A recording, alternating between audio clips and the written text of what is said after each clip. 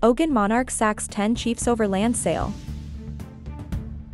The Olu of Oral Alawo, Abeokuta, Oba Alexander McGregor, has dismissed 10 chiefs for allegedly selling 1,600 acres of community land in Alagbagba and nearby regions within Ogun State's Odeda local government area.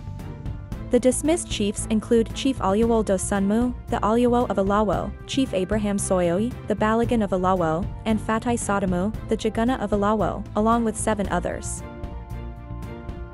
The Alawo throne is ancient, dating back before Abeokuta was founded in 1830. Our community has long been united by shared customs and traditions, and we do not fall under the authority of the Osile of Oke-Ona Egba. I am the Olu of Oral Alawo and the designated authority over all lands associated with Alawo, whether in Odeda, Abeokuta North, Ukoro, Ifo, or Obafemi. Dosunmu expressed surprise at the allegations, stating they only learned about them through the media. We were shocked to hear on the radio that we've been accused of selling land in Alagbagba. We have not received any official communication from the monarch regarding these claims.